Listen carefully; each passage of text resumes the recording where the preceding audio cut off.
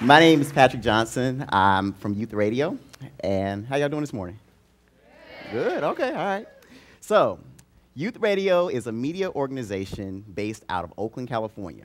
We work with young people between the ages of 14 and 18. We teach them radio broadcasting, music production, video production, and a thing that I enjoy called media literacy. So basically, how to under oh someone okay a media literacy fan good job. Um, first time I've ever been somewhere where someone cheered about media literacy. Um, but one of the things about media lit that's really cool is understanding how the media works. Uh, so I always say I have one of the coolest jobs in the world because the stuff I actually watch on TV, I actually get a chance to go to work and talk about. But today we're going to talk about some of the stories uh, of some of the young people we work with at Youth Radio. So uh, Brandon McFarland. Uh, Brandon's a real interesting uh, guy in the sense that Brandon works in our newsroom. He produces news stories for uh, places like National Public Radio, uh, Public Radio Inter International. Um, he's also an award-winning journalist, and he's a music producer. Uh, he produces under the name 108K. And the way he became involved in youth radio, he won't mind me telling the story because I'm going to tell it anyway basically, he saw a young lady walking down the street, and he followed her into youth radio. Um, and once he followed her into youth radio, someone gave him an application, and he's been there ever since.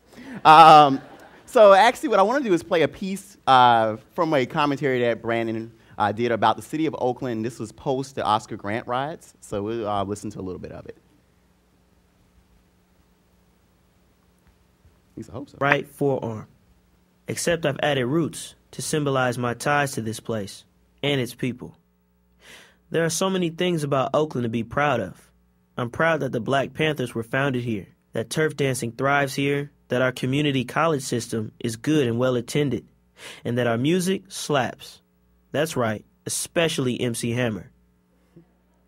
So I think one of the things that Brandon was really talking about in this piece was finding beauty in a city that sometimes shows uh, that the rest of the world doesn't always see that beauty in. And I think a lot of us can relate to that.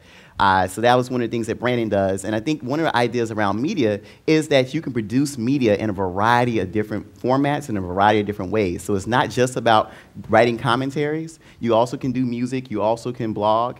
And really what we value at Youth Radio is being able to help young people get access to this technology. Another gentleman by the name of Pendarvis Harshaw. Uh, Penn is interesting in, in, the sense that journalism has taken him to Ireland. Uh, he's done stories over there. Uh, one of the stories he actually did for National Public Radio, and he is also an award winning journalist, was about how the usage of the N word is global. And he kind of came to this realization because he was having a conversation with his, I think, two year old nephew, and this is what happened.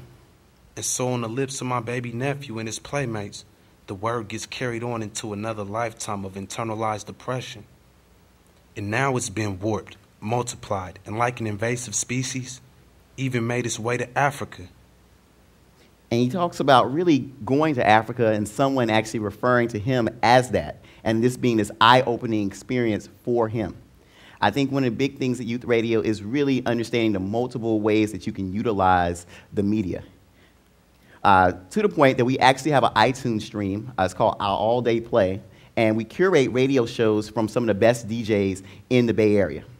Uh, and this is a stream that allows young people not only to be able to do journalism work at Youth Radio, but also allows them to be able to utilize music as a medium that they're interested in getting their point out there to the rest of the world. Uh, youth Radio is a multifaceted youth organization. So we have a young woman by the name of Susanna Vong who's worked at Youth Radio as a peer teacher. She currently works in our healthy food program. But she did a piece about America's Best Dance Crew that, yeah, I'll play a snippet of it for y'all. I'm a huge fan of the show, so of course I wanted to talk to my friends about it. One of the differences between the two that I've noticed, it ain't no like super old people dancing, but it be heck of old people singing old boring music sometimes on uh, American Idol? I mean, yeah. but I think American Idol has like an age limit of like 28, which means if they're old, oh my gosh, what am I?